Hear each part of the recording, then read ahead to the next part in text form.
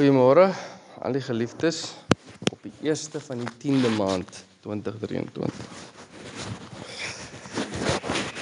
Vandag gaan nie 'n regtige boodskap wees nie. Miskien so aan die einde gaan daar miskien iets wees wat ek wil hê jy moet oor gaan dink. Vandag gaan maar meer net 'n 'n saamstap wees deur 'n klompie dae in 'n dagboek. Ehm um, wat die Here gewerk het, wat gebore is met ons uitreik in Shandami die Junie Julie maand hierdie jaar het ons twee pastore ontmoet. Um en net vir die luisteraar wat saam luister, Shandami is Mosambiek. Dit lê so 180 km noord van een van die groot stede daar, Tet, waar jy definitief nie wil wees in die, in Oktober maand nie. Dit is ontsaglik warm en drukkend. Dit is ek kan dit vir iemand beskryf, dit is soos Wellington sonder wind. Dis verskriklik. Dit lê 700 meter onder die seevlak bodem. Lê kom hy son alles daar by mekaar. Met 'n klomp spieels. die leerfabriek in. Ja. Ja, dis warm. O nee, ek weet wat jy nou ja. Ja, die die reuk is daar, dis ambesie en alles wat rondom hom gebeur. Maar uh daar het ons by Shandami die die die area waar ons by Jan Susan Smit ehm um, saamgewerk het met die plaaslike kerk uh, 26 prayer houses wat wat bedien word vanuit vanuit een pastoor. 26 klein gemeentes met een herder. En toe besoek ons nog 'n gemeente wat nader lê na na die grens van Malawi toe en hy is alleen. Hy het net 2 of 3 prayer houses, maar sy sy prayer houses is so 6 700 per prayer house. Ja. En hy is een man. So toe ek vir hom vra Pastor Isaiah vir hom vra nou die dag, jy weet, jy weet, hoe sien jy om? Hoeveel mense moet jy by uitkom? Toe sê hy so 3000. Ja. So 3000. Dit beteken hulle uh rus baie swaar of rely soos die Engelse woord is op hulle ouderlinge. En die belangrike faktor en rol wat 'n ouderling speel binne in die swart kerk. Want dit is onmoontlik vir daai ou om persoonlik by almal betrokke te wees. Is onmoontlik. So terwyl ons daar was, spreek beide hierdie twee pastore 'n geweldige behoefte uit na ons kant toe om te sê asseblief kom net weer kom help net om te verwerk aan hierdie massa bediening wat hy verantwoordelik vir is. En ek voel die Here beweeg iets in my hart maar ek sit dit net eers daar neer. En toe ons terugkom by die huis bepeins ek hierdie saak voor die Here en ek sê vir die Here bevestig dit vir my. En een aand nou nou moet ek seker maar bely ook ek is nog al lief vir die vir flieks kyk. kyk ek 'n fliek van ouens wat in Afrika, ek kan nie onthou watter jaar dit was nie, maar 'n ware verhaal wat mense uitgesmokkel het uit Sudan uit. Of Ethiopië, wat een van hulle die Dead Sea Diving Diving Club, julle het seker al die fliek gesien. Dead Sea Diving Club, ja. Maar hulle hulle gaan in hulle land in hulle, koop 'n 'n 'n tipe van 'n duikresort wat bankrot gegaan het. Koop hulle by die by die rebelle regering sodat hulle nou kan maar daar duikopleiding kan doen vir mense, maar hulle hele doel is hulle is dan by die see en hulle gaan haal mense in die binneland en bring hulle tot by die see waar bote hulle kom optel en, en uitvat want anders word hulle ehm um, vervolg in hulle eie land. En in daai fliek sê die Here vir my, gaan terug. Gaan terug. En ek weet dit lê klaar op my hart en ek begin bid en en nou Juba kom by my aan en ek deel met hom my dinge op sy hart en hy sê vir my hy huil al eintlik 'n hele jaar lank want hy wou so graag saam gegaan het. Ehm um, Shandamu toe maar die Here het gesê nee, hy sal vir hom sê wanneer die tyd reg is. En die ding begin groei op ons en hoe meer ons bid, hoe meer sê die Here gaan ek stuur julle 2-2. Ook 'n woord wat ek daarbo gekry het, hy sê Here wys my wat bedoel jy met 2-2. En ehm um, ek kan hy klim op 'n vliegtyg en ons kom in in, in Shandami aan die 21ste September. Dis warm, dis net voor hulle reenseisoen. Reën nog nie geval nie, muskiete is nog nie regtig verskriklik aktief nie, maar wie wat is die grootste evident die grootste sigbare ding van Tet wat jy ry eintlik van die booste vlieg as jy van oor Johannesburg so ah, 20 minute oor Johannesburg as jy begin kom nader na die grens toe en jy begin sien net rook waar jy kyk en daar's nie fabrieke nie. Afrika brand September Oktober brand hy. Daar's 'n kultuur van brand. 1 jy brand jou landerye skoon. Jy weet jy gebruik jy onkruiddoders ietsie. So jy steek die ou biomateriaal van verlede jaar se oes steek jy brand. OK? Al daai lieflike biomateriaal wat kan in die grond ingaan steek jy brand want jy kry jou land skoon. Maar dan los jy die vuur. Jy maak hom nie dood nie. So die kleinste fynste windjie wat opkom, vat daai vuur en jy brand miljoene hektare af in Afrika. Of daar nou huise en mense doodgaan, is irrelevant. Jou land is skoon. Mosambiek is Mosambiek is, is na die oorlog, jy sien bitter min wild. Jy sien nie 'n wildsbok oor die pad hardloop nie. Ek ons was verbaas. Ons het 3 hasse gesien. Een aand toe ons gery daar op Janie se plaas. Drie hasse, ek was so verbaas, kom, kyk hier's hasse. As hulle has sien steek hulle brand. Hulle is, ons moet daai has vang nou. Hulle steek brand agter rotte aan. Om een rot te vang, brand hulle 9 hektaar van Jan Smit se voorbereide landerye wat reg is nou mooi blanket gegooi. Blanket is 'n terpentyngras wat afgesny word en bo oor die landerye gepak word sodat wanneer die reën kom dan behou dit die vog in die binnekant en dan plant hulle hulle mielies sodat daai vog lekker kan sit en dit vorm weer biomateriaal vir die grond. Brand 9 hektaar van sy voorbereide blanket af agter rotte aan. Wie wat doen dit in ou se hart? Daai wat jy sê dat jy nie rasisme in jou het nie. Daai wat jy sê jy is vry daarvan. Laat iemand nou in jou goedjies vat. Dan kyk jy gou wat staan op in jou. Laat iemand in jou familie se goedjies vat. Dan kyk jy gou wat staan op in jou. Daar's 'n oorblyfsel van die tipe van ding wat jy moet altyd beveg. En soos wat ons nader kom, sien jy net die rook hang. En nou nou Mosambiek het hulle het hulle nou brandstigting onwettig verklaar, maar hoe kry jy met 'n afkondiging van 'n nuwe wet 'n kultuur verander van dit. Dis 'n dis 'n kultuur. En daai ouens wat ge, word gevang wat daai plaas spesifiek afgebrand het en hulle word voor hulle voor hulle hoofman gedaag en hulle vra vir Jan Smit wil jy die wil jy die polisie betrokke kry sê nee ek wil genade bewys ek wil nie die polisie betrokke en ek wil net hê hulle moet verstaan jy kan nie dit doen by my nie. Gaan doen dit aan jou kant aan die rivier as jy dit wil doen wat nog steeds onwettig is, maar moenie oor die rivier kom nie. En sy genade word in sy terug sy gesig teruggegooi deurdat daai ouens gaan maak nog by mekaar en hulle kom oor die rivier en hulle kom tuister sy mense op die plaas. Nou moet jy die nag rondhardloop om mense te beveilig bloot uit rebellie uit. En voor jy vir my sê, "Jo ja, nee, dis hom sleg." En dink gou aan jouself, watter groter rebellie storie kry jy as jy Israeliete? Hæ? Huh? Hoeveel keer kom die Here vir hulle deur met genade? Hoeveel keer bewys hy sy hart en sy liefde aan hulle net tot hulle gemaklik is? Dan rebelleer hulle weer. Dan moan en groan hulle weer oor alles wat hulle nie het nie. Dan moet hulle eers weer 'n pak slaag kry op hulle tyd. Dan is hulle nou eers weer soet en dan net die volgende dag, hier gaan hulle weer. Daar's 'n oorblyfsel in my en jou hart van dit.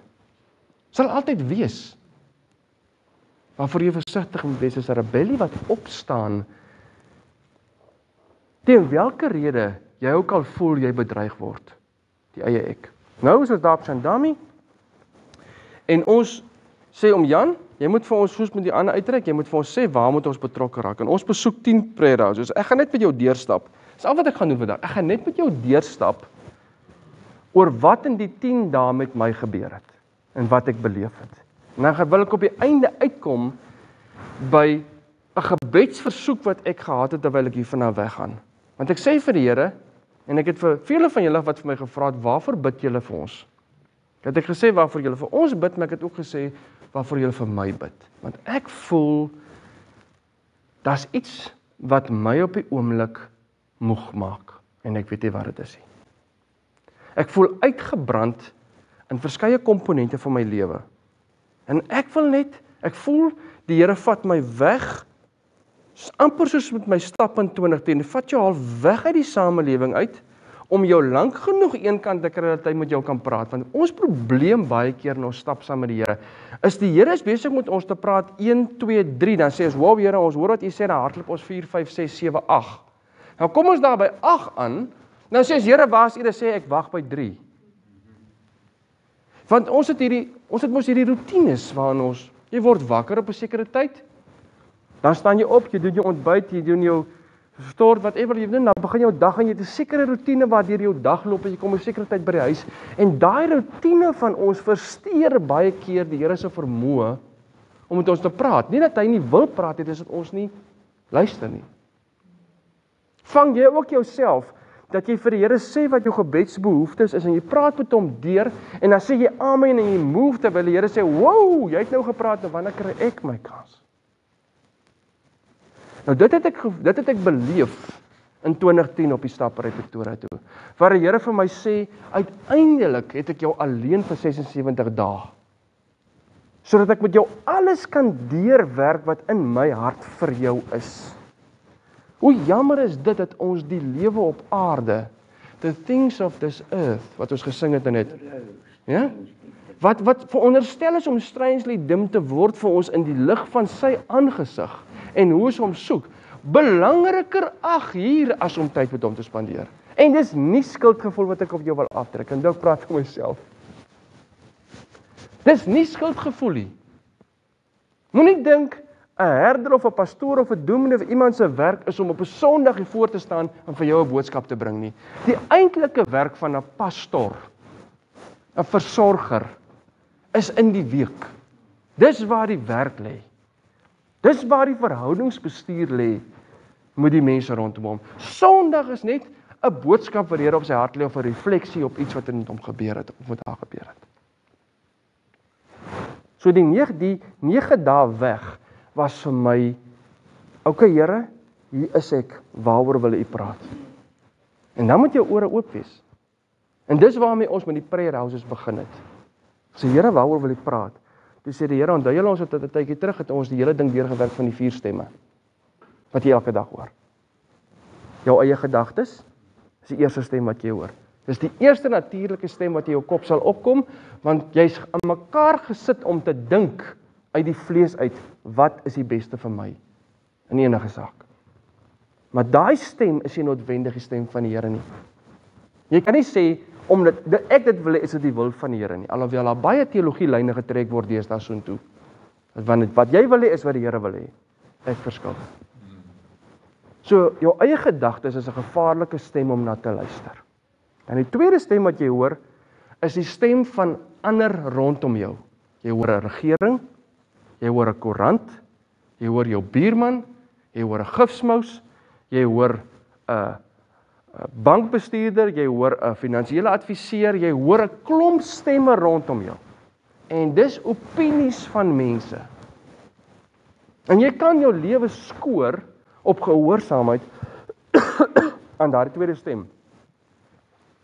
En daardie tweede stem is heel waarskynlik die sterkste stem volgens my wat jou beïnvloed. Want jy het jou eie gedagtes rondom besluite, Maar jy's altyd oop vir sekere mense rondom jou. En dan is die derde stem, is die stem van die vyand. En die stem van die vyand het 'n bondgenoot in ander mense rondom jou en het 'n bondgenoot in jou eie stem. So hy kan of deur werk deur ander mense na jou toe of hy sê hy por jou aan om jou eie gedagtes verder te vat en dit uit te voer. En die vierde stem is die stem van die Here. En dis die enigste stem wat wat waar waaragtig gevolg kan word en wat vertrouenswaardig is. En dis die stem wat hy vir ons in Genesis vir die mens aanbied om te sê ek is hier om saam met jou te wandel en 'n verhouding met jou te staan en met jou te praat en al wat ons moet doen is om sy stem te hoor en te gehoorsaam. So ons het met daai mense teruggegaan na die eenvoud toe van wat beteken dit om te sê as Johannes 10 sê my skape ken my stem. Dan is dan net een vraag om te vra, is jy sy skaap of is jy nie? Want jy volg 'n stem elke dag. Jy doen dit. Die vraag is watter stem? En jy moet eerlik moet die goed wees. Ons het want ons kan nie ons kan nie in Shandami kan jy nie tegnies raak oor enigiets nie. Jy moet elke ding wat jy nie dat ek sê die mense se intelligensie is laag nie. Ek sê Shandami bring vir jou die verstaan van eenvoud terug na jaar toe en die belangrikheid van eenvoud. Jy leer meer tussen die eenvoudigste van die eenvoudigstes as wat jy leer tussen die tegniese mense. Hulle bring jou terug na die basiese, the basics of life. Hulle bring jou terug na die definisie van gasvryheid as 'n gawe van die Gees om jou te ontvang. Vra vir enige iemand wat al daar was by 'n prayer house wat doen hulle? Hulle ontvang jou met die beste wat hulle het. Hulle ontvang jou met sulke breë glimlaggies op daai swart gesiggies. Kan nie glo dat jy vir hulle kom kuier nie. Uit Suid-Afrika uit. Hulle sit vir jou die beste voor wat hulle het. Jy moet eet saam met hulle. Hulle eet nie saam met jou nie. Hulle wag dat jy klaar eet want jy is die gas.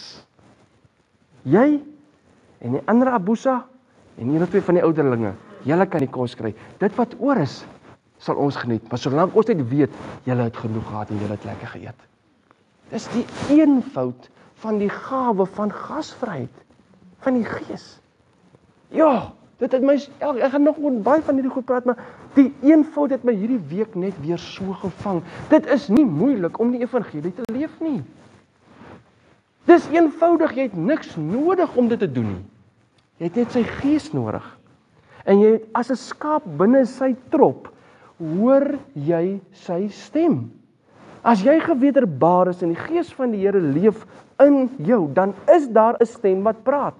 Nog voordat jy gered was, sit hy 'n gewete in jou as 'n voorloper tot 'n stem wat met jou praat om te sê, "Ooh, dit is lekker of dit die regte ding is om te doen nie." Nou ons almal hoor die stemmetjie.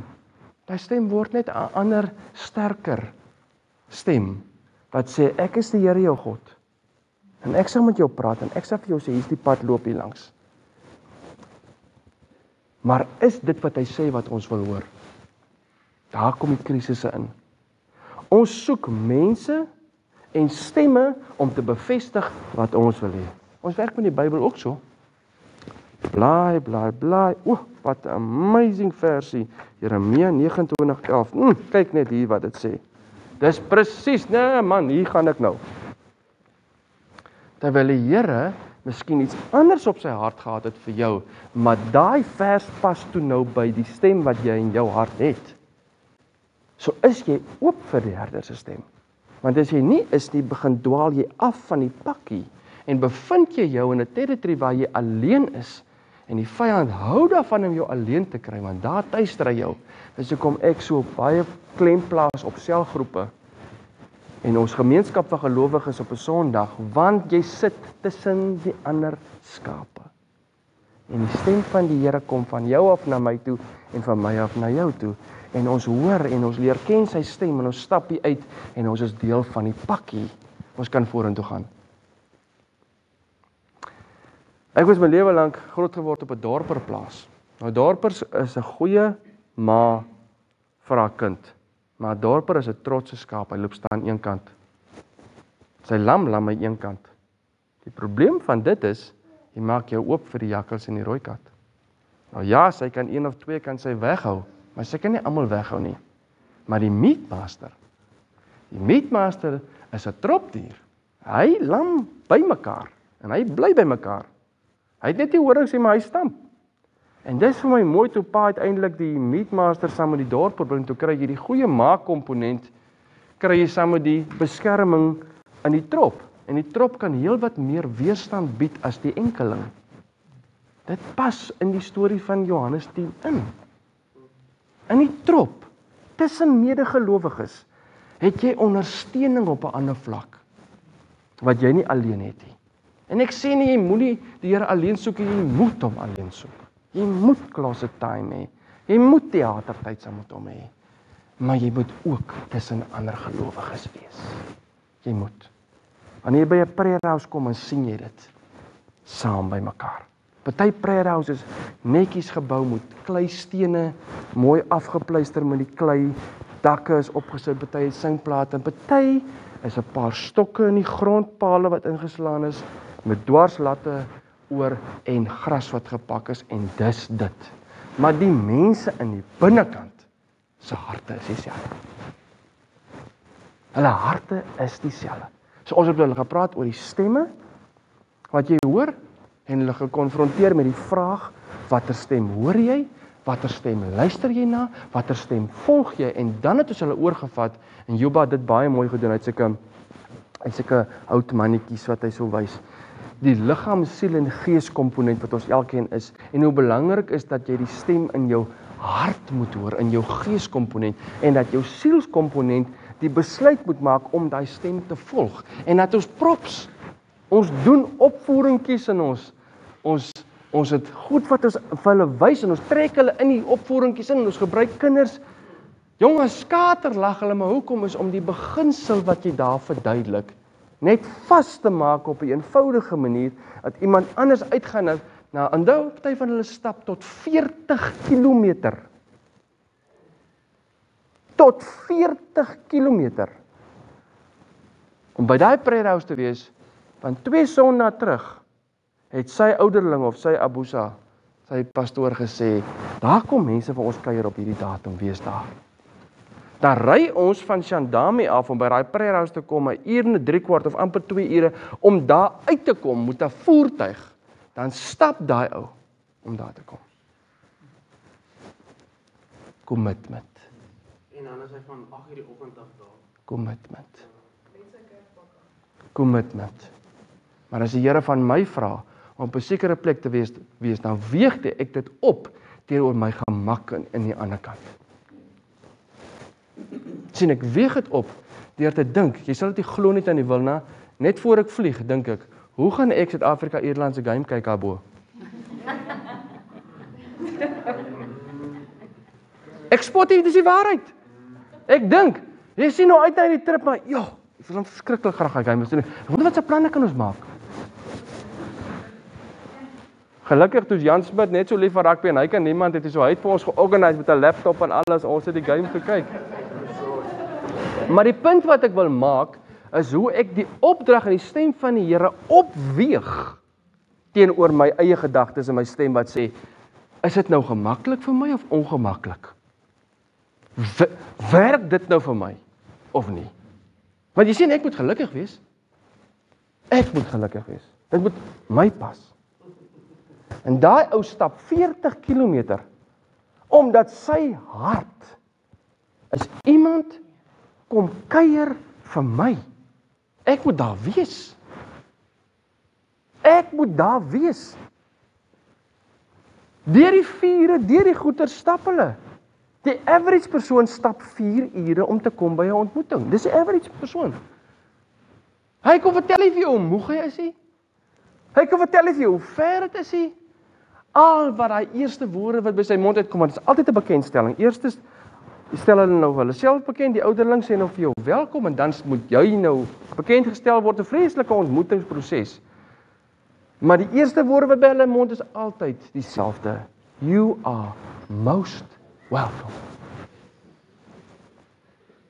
En nou probeer hy sy territory beskerm deur vir jou te vertel wat jy mag sê en nie mag sê nie. Hy sê net: "Wees vry." Kom bedien dit wat die Here op jou hart sit. En dan verduidelik ons vir hulle deur die drie mannetjies hoe dit die hart is. Wees versigtig wat die hart sê Jeremia. Wees versigtig wat in jou hart omgaan. Want die hart is bedrieglik bo alle dinge. Wie kan dit ken? Ek die Here deursoek die hart, toets die niere om aan elkeen te gee na sy weë volgens die vrug van sy handelinge. Spreuke 4: Laat jou hart my woorde vashou en onderhou my gebooie doen, dan sal jy lewe. Markus 7:21 Nie almal wat vir my sê Here Here sal ingaan in die koninkryk van die hemel nie, maar hy wat die wil doen van my Vader wat in die hemel is. Verduidelik vir ons vir hulle, dit is wat in die hart aan die gang is. Dis hoekom die Here sê ek soek jou hart. Maar pas op, want in jou hart gaan jy dink oor dinge en jy gaan dit opweeg. Dit is die goed wat ons met hulle gedoen het. Dit was kosbaar om te sien hoe daai gesiggies na iets kyk en bedink en dit vat. Sê dit hom. Die konsep van 'n juk tussen twee osse. 'n Bees is nie by hulle kosie. Hulle eet nie besie. 'n Bees trek 'n wa. En 'n bees, twee bees voor, twee osse moet 'n juk en 'n waantjie agter word genoem transport. Daar staan ook so 'n so transport in in transporta. Porra. Nee, ons het 'n lorry, 'n link moet 'n wa. Hy het twee osse met 'n juk en dis waarmee hy sy inkomste verdien want daarmee ry hy al die ander ouens se goed vir hulle rond. Haal klippe by die rivier, ry die klei aan na die plek wat hulle bak saag, die boom stompe aflaai. Dit is sy besigheid. En dan verduidelik ons vir hulle wat doen die juk prakties. Hoekom? Sodat jy kan uitkom by Matteus 11 wat sê kom na my toe almal wat moeg en oorlaai is. Waarvoor het ek gegaan? Wat was my behoefte waarmee ek gegaan het? Ek wou rus. Ek soek rus. En Here sê kom na my toe almal wat moeg en oorlaai is. En dan gebruik hy daai voorbeeld vir hulle om te sê die juk is op hy os van net die vers daarna sê neem my juk my las op want my las is my juk is sag en my las is lig nê nee. my juk is sag en my las is lig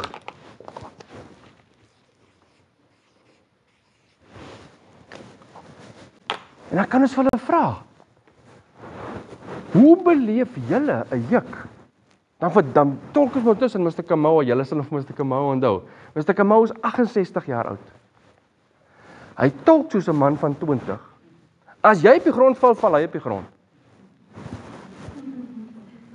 As jy klim op 'n sekere area plaas want hy's is goed met Engels. As jy klim op 'n sekere area plaas wat jy wil hê, dan plaas hy dieselfde klem vir hulle daar en hy brei in hulle konteks. Partykeer moet jy vir hom wag want hy's besig om te hoor wat jy sê, dan brei hy in hulle konteks vir hulle die ding nog verder uit so. Sê jy gaan daai koppies net so want hulle want hulle verstaan hom obviously baie beter as vir my. Wat 'n voorreg om saam met Mr. Kay te werk. Hy het vanoggend weer 'n boodskap gestuur. Is jy veilig terug by die huis? Daar's 'n band, daar's 'n koneksie. Daar's 'n liefde, daar's 'n verhouding wat ontstaan het in daai kant. Wat die Here my mee seën op die oomblik. As hy een fout wat in my hart teruggekom het en ek gaan nou daai een fout vir julle terugtrek na rus toe wat ek beleef. Maar wat is daai juk? Dan verduidelik hy mense vir jou hoe dit werk as een ons nuwe loopie. Hoe werk daai hy juk loop trek skeef? Of as die een ons hoor as die ander een is. En dan vat jy daai konsep net so en dan praat die Here in jou hart. Dan luister jy weer en dan heen en weer as ons besig om mekaar te bedien oor die eenvoud van 'n juk. Want as jy 'n woord het, daai juk sê ons ons het hier oggend 'n woord gehad, hy ry ons. Here, die woord moet val. Wat is die woord? En staan daar in die pad twee osse met 'n wa, met 'n juk op. Sê die Here daar. Dan sê ons al drie vir mekaar, ek en Jan Smit en en Juba. Kyk nou na daai juk, is dit nie Matteus 11 nie? Dan sê ons is die woord vir die dag, gaan dit met hom waaragtig en manifesteer daai woord. Weet jy wat doen dit as die stem van die Here so deurkom in een fout in jou hart? Dit vat 'n klomp ander bekommernisse soos 'n juk van jou skouers af. Daar kom 'n sielsrus oor 'n sekere ding in daai oomblik. Wat jou oplig van die grond af wat net die Here kan doen. En Smit het 'n het 'n um 'n boekie met die naam van julle sal hom ken, Oswald Chambers se At is my utmost for his highest, né? Nee? Ken julle hom? bekende boekie wat Oswald Chambers geskryf het met sulke dagstukkies in. Maar Oswald skryf nie vyf sinnetjies nie. Hy skryf 'n hele boekie, hele blaadjie en fyn lettertjies vol. En hy wil vreeslik graag hê Jan Smit dat dat ons hierdie ding moet lees. Want iets iets aan dit is besig om met hom te praat en ek sê, "Oké, okay, gee tog die ding vir my dat ek die ding nou lees." Dis ook so half 'n grimmig. Ja ja, ek sal dit nou lees want dit is nou net vir jou. My heet dit aan die wil na slaan daai twee bladsytjies my tussen die oë. Want die eerste storieetjie wat hy wat hy daar vertel, Oswald, is is is van hoe maklik dit is as jy te veel hooi op jou vurk het. Hy sê wat gebeur is jou jy jy's so selfbewus dat jou selfbewustheid loop maklik oor in 'n selfbejammering. So hy sê hoe meer fokus jy plaas op waar jy is, hoe meer is jy besig met jouself, hoe meer is dit jou stem wat praat tussen die vuur. En is net natuurlik dat jy op 'n manier wil sê, sies tog shame, kry my jammer. Wat presies is waar ek was toe ek daai dingetjie lees. Ja. En wat se skrif staan daar? Matteus 11. Kom na my toe. Almal wat moeg en oorlaai is, want ek gee rus. Kom na my toe. Kom weg van jouself af en kom na my toe. Hoe meer die fokus Christus is, hoe meer die fokus is sy karakter, hoe meer dit is wie hy is, wat hy doen, waarvoor hy staan, sy hart, hoe minder is dit ek. Hoe meer raak dit Johannes die Doper se se se woorde en sy gebed meer van u, minder van myself. Maar dan moet 'n praktiese iets daarbey by wees. Dit help nie ons sê vir mekaar mooi filosofiese goed nie. Ons het dit prakties kan maak om te sê, hoe lyk dit dan gee die Here twee osse met 'n juk? En sê As ek saam met jou in die water trek my kind, dan is ek die os langs jou wat jou help dra. Sê dit vir my hart, bou. Jy moet onthou, hier waar jy fokus op self en en die vrae wat jy het oor die plek waar jy is en hoe gaan dit vorentoe lyk en watter verantwoordelikhede moet afgehaal word en watter verantwoordelikhede moet gehou word? Hier waar jy is, moet jy net onthou ek is met jou. Jy is nie alleen nie want jy kan nie alleen 'n juk dra nie, dis onmoontlik. Nie 'n dubbel juk bedoel ek nou. Jy kan 'n enkel juk kry. Dan trek jy daai hele basiese gewig alleen. Maar ek is saam met jou in daai skof. En daar waar jy swak is, is ek sterk. En ons praat met hulle oor die algemene probleme wat hy in sy lewe beleef. Rondom hom is dit sy prayer house, sy boerdery, sy markplek waar hy verkoop, sy huisgesin en sy familie. Dis hoe sy lewe lyk. Ek dink maar dis nie so vreeslik verskillend van ons nie. Jy het ook jou besigheid of jou boerdery, jy het ook jou familie en jou gesin. Het ook jou markplek waar jy dinge doen. Het ook jou prayer house waartoe jy kom. Ek sê maar verduidelik vir my aan die hand van jou lewe. Hoe lyk jou juk? En dit veroorsaak dat jy binne in jouself gekonfronteer word met wat is die jukke wat jy dra? Wat is die wat is die goed binne in jou siel wat jou rus steel? Nou dis maklik om vir my te sê rus is vakansie. Prys die Here vir die voorreg wat jy vir my gee in my gesin om vir 'n paar dae weg te gaan. Dis 'n groot voorreg wat jy vir ons gee. Groot. Maar vakansie gaan nie net oor slaap en eet nie. Ons almal is bewus van die liggaamlike rus wat ons nodig het. Ons almal ken Genesis. Wat God gesê het in 6 dae moet jy werk en op 7 dag moet jy rus. Ons ken die beginsel van fisiese rus. En dit is krusial dat jy fisies liggaamlik rus. Want as jy jou liggaam afskeep, gaan jy die gevolge daarvan dra. Maar ons vergeet van die ander twee. En ek is nog nie aan die einde van die weekie. Ek maak jou bewus wat die Here aan die begin van die trip in my hart begin werk sodat ek aan die einde van die trip kan verstaan wat hy sê. En ek wil vir jou vra, jy moet saam met my dink. Wat is sielsrus? En wat is geestesrus?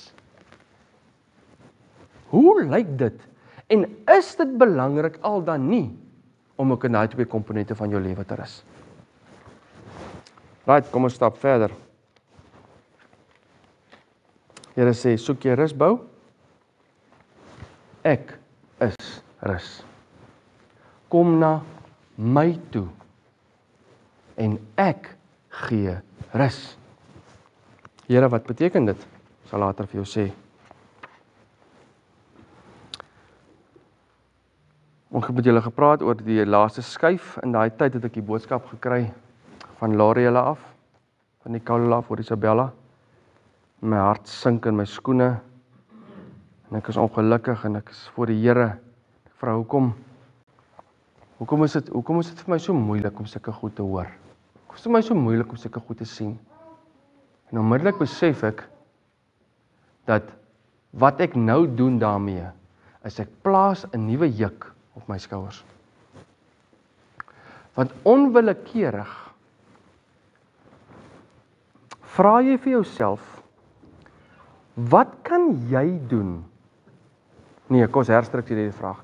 Wat kan jy meer doen om iemand rondom jou te help? Onwillekeurig is die mens, ons het 'n God het binne ons die vermoë geplaas en die begeerte om mekaar te help. Kyk 'n bietjie as jy vir iemand iets doen, goed doen. Wat doen van die om die dankie te wil hê nie, maar doen vir iemand iets goed. Hoe voel jy daarna? Amazing. Dit is asof jy gemaak is om uit te reik tussen hakies. Uit te reik na iemand anders. Maar as dinge nie uitwerk soos jy gehoop het nie, dan is daar hierdie worsteling van wat kan ek meer doen? Wat moet ek meer doen? En in sekere goeie is daar net eenvoudig niks wat jy kan doen daarin nie. Wat het jy verkeerd gedoen? Wat het jy verkeerd gedoen? Wie se stemmetjie is daai? Kan jy sien? Jou efforts is net nie genoeg nie. Hoekom gaan jy nou? Hoekom probeer jy nog verder support daar? Los dit liewer man. Daai stem kom uit die tuin van Eden af aan. En hy is vandag nog aktief in my jou lewe. En die Here kom net weer met my met daai ding van die koning uit die laaste skuif. En wat doen hy daarmee? Hy haal daai juk af. Hy sê bou ek uit die laaste skuif. Dis in my hand. Nie in joune nie. Moet my nie ophou soek daaroor nie. Moet my nie ophou soek oor die oor die jukke nie. Maar wees net verseker ek is daar. Ek trek saam in daai gesin se juk. Ek is daar. My las is lig en my juk is sag. Rus is onmoontlik buite my. Skryf dit in my dagboek bou rus is onmoontlik buite my. So ek kan genoeg slaap inkry. Ek kan langs 'n riviertjie sit en staar of 'n vuurtjie maak en net soos vir die vlammetjies sit te kyk vir 2 ure en dit kan vir my fisies goed wees. Maar rus is onmoontlik buite my. Wat beteken dit? Waar lê hy? Maar wat beteken dit? Die Here moet sit vir my en jou in die dink sit oor sekere goed. Wat beteken dit as die Here vir jou sê rus is onmoontlik buite hom?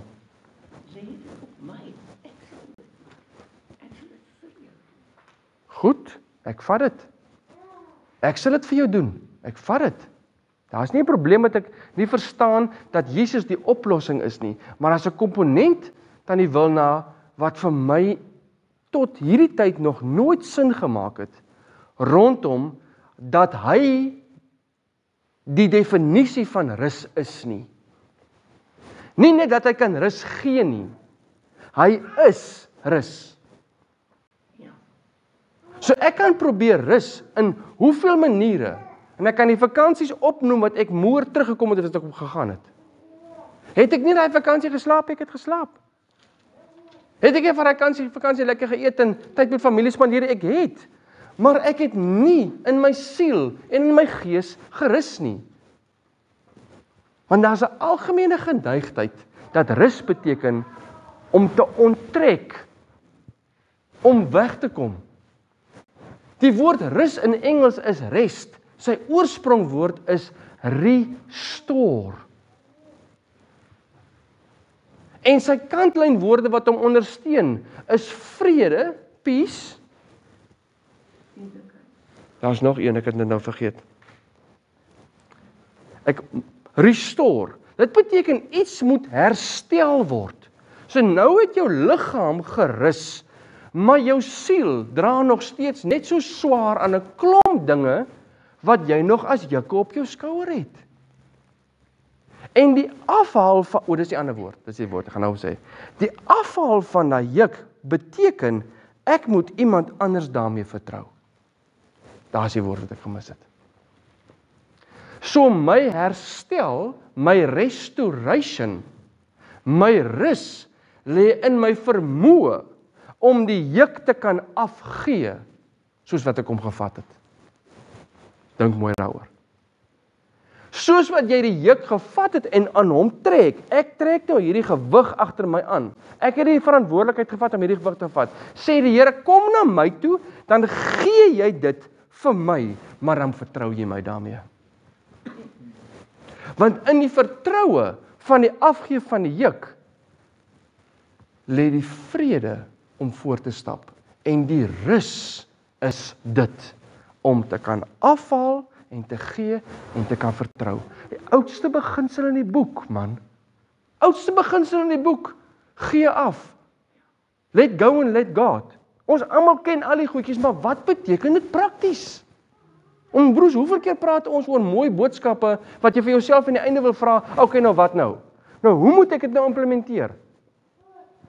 Ek moes Shandami toe gaan om 'n juk op 'n koei op 'n beeste te sien om te verstaan. Daai bees is net vry as hy daar loop sonder daai wa. Daai bees is net vry om te kan eet waar hy wil eet. As die juk af is.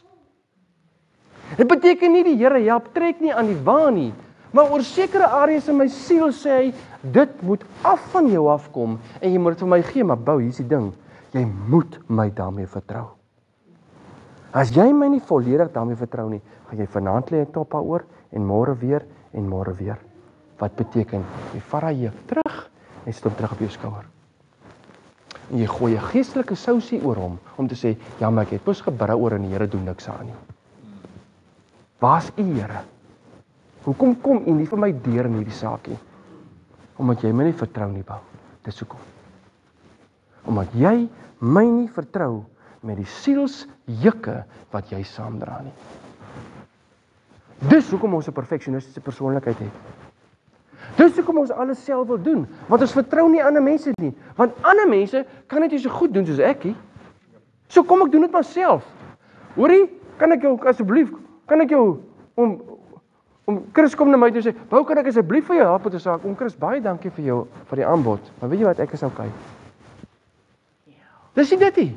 Dis eintlik om Chris baie dankie, maar ek vertrou jou nie om dit te doen nie. Ek sê maar liewer self.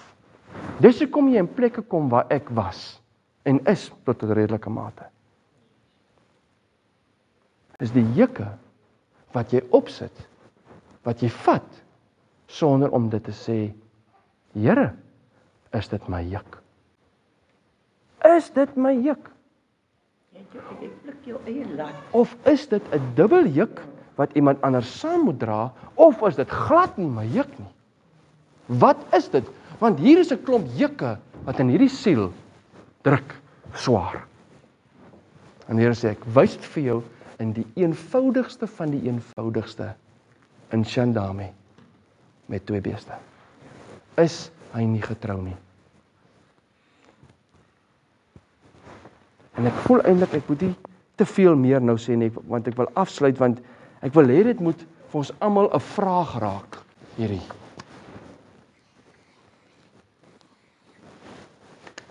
Wat ons vir onsself moet gaan vra, hoe lyk rus vir my liggaam? Hoe lyk rus vir my siel en hoe lyk rus vir my gees? Die brein is gemaak om 'n vraag te wil antwoord. Ons brein is gemaak daarvoor. Ons wil 'n vraag antwoord. In kommunikasie gebruik ek dit baie. Maar nou hierdie vraag is nie joune om te antwoord nie. Hierdie vraag is joune om te ondersoek voor die Here. Hierdie vraag is joune om te sê Here, vir my hele lewe lank dra ek dalk die teenoorgestelde van rus, naamlik juke in die liggaam, siel en die gees. En ek wil weet volgens u hart en u stem en u gees en u wil vir my. Hoe lyk dit om in rus in te gaan in daai drie komponente? Wat die makliker een om te verduidelik is die liggaam. Maar hoe lyk die ander twee? Sal jy dit gaan ondersoek? Sal jy dit voor die Here gaan sit? Want ek dink dat dit een van die pivotpunte Dis dit dit dit gaan in my lewe 'n draaipunt wees om die antwoorde te ontvang vir die juke veral in die siel by my wat ek dra onnodig. Waar daar nie vrede is nie omdat daai juk is nie afgegee in vertroue nie. Of as ek moet hom trek, vertrou ek nie noodwendig die ou wat saamtrek. Die ou wat saamtrek nie. En dis 'n groter belydenis wat ek hier doen as wat ek op die oomblik dalk so laat klink. Bewy 'n eh, belydenis beteken baie meer om te erken as om te sê iets is verkeerd. Dis 'n bewuswording waar die Here jou een kan kan jy sê ek my kind, ek is so lief vir jou dat ek vir jou hierdie goed moet wys. En ek het 'n dingetjie vir julle uitgestuur wat ek geskryf het. Ek weet nie of julle dit kan onthou nie waar die vroue gesing het die dag van die van die World Cup game van Ierland, Suid-Afrika. Ek hoor hulle en ek stap soontoe en ek gaan sit daarso. Hulle sing nou in hy kerkgebouetjie wat hulle nou oefen vir die nagmaal vir die volgende dag. En ek gaan sit hier daarso. Uh 'n wit man is azungu. En almal azungu, azungu. nou sit azungu maar daarso op 'n teen die muur, maar my oë is net toe want ek wil net Hulle gaan aan met hulle oefening. Weer net soos daai stemme meng met mekaar sonder enige begeleiding. Soos daai stemme meng soos wat net hulle kan meng in Shandami. Begin daar juke van my skouers aflig. Net in die lofsange van sy kinders. Ek kan nie vir jou sê presies wat nie, maar ek kan voel hoe goed lig En hy volgende dag was die moeilikste oggend vir my. Ek staan op absoluut plat in die grond oor 'n saak wat ek nou gaan deel. Absoluut plat oor die saak. En ek dis eintlik my oggend om by die prayer house voor te vat. Maar Juba en en om Jan het gesê as jy wil net eenkant gaan sit en en rustig wees en jy wil nie 'n dag saam gaan nie, vat jou tyd. En ek was amper lus om vir hulle te sê ek gaan nie vandag saam mee ek bly. En dan kom 'n dingetjie op die foon deur. En toe ek dit lees, toe weet ek Here sê gaan sonder 'n woord. Sonder 'n woord. En ek gaan in daai toestand van ek het geen idee wat ek weet ek moet gaan. Ek het 'n woordie, maar ek weet Here, ek moet nou in u rus ingaan dat u sal gee, u sal voorsien as u stuur. En net voor ons instap by die prayer house Toe gee die Here een van die oudste storieetjies in die boek van Dawid en Goliat. Een van die oudste storieetjies en ons vat vir hom Janie Smits, lekker Goliat, lekker groot. Vat een van die klein mannetjies daar binne. Wys vir hulle, vra vir hulle wat weet hoe werk 'n slingervel? Ja, en wys vir hom om te swai en wys die grootte en die size en wys vir hulle teen die paal. Jan Smit is 2 voet, uh 6 voet 7. Ja, hy's groot. En Goliat het nog twee koppe bokant hom uitgestaan. Goliat raak pretty much in die prayer house se dak Jy weet die size verskil en alles en die wewersbakkie spies jong, die kindertjies se mondjies hang oop. Al wat die Here wou kom doen is om te sê my rus lê nie in die krag van 'n mens nie. My rus lê in die vermoë van die kleintjie, die kinderlike geloof dat ek die een is wat bemagtig. En dat wanneer jy kom na die juke toe in die naam van Jesus. Nie in die naam van sterke Goliat nie, maar in die naam van Jesus in afhanklikheid van sy krag en sy mag en sy gesag dan sidder die demone. En dan val Goliat. Interessant. Um Ezekiel pastoor Ezekiel sê vra vir sy spannetjie, "Hoe het Goliat geval? As jy ou voor sy kop gooi van voor af, hoe val hy? Val agteroor. Die momentum vat hy agteroor want die klip gaan voor sy kop in. Maar die Bybel sê Goliat het vooroor op sy gesig geval. Wat is dit? Hy het vooroor geval omdat Kirstel elke tong sal bely en elke knie sal buig. Hy val vooroor in aanbidding voor God.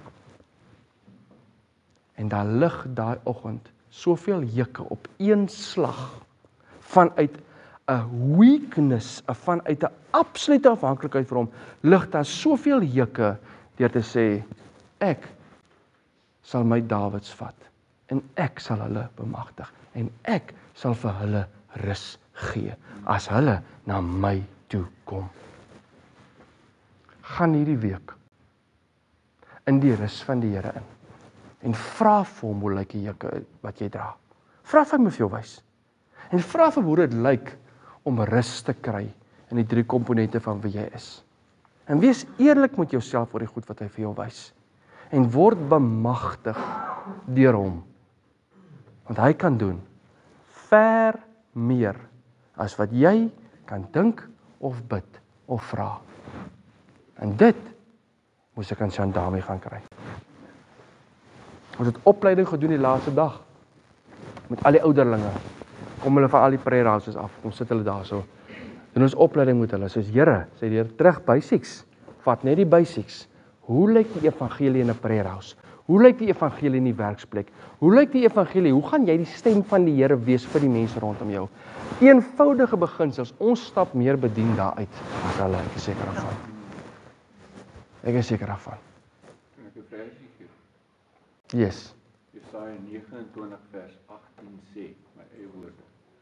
God wag ongeduldig om jou genadig te wees. God wag ongeduldig Om jou genadig. om jou genadig te wees, om vir jou daai rus te bring Amen. wat hy is in jou. Kom na my toe. Almal wat nog oor hy is, Ongeduldig. ek gee rus.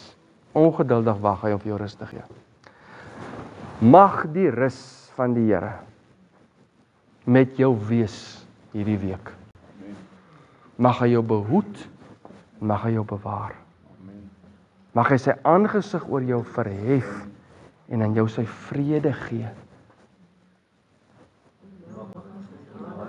Here Jesus Christus en die liefde van God die Vader en die gemeenskap van die Heilige Gees met jou wees en met jou bly. Amen. En hy sal ook met genade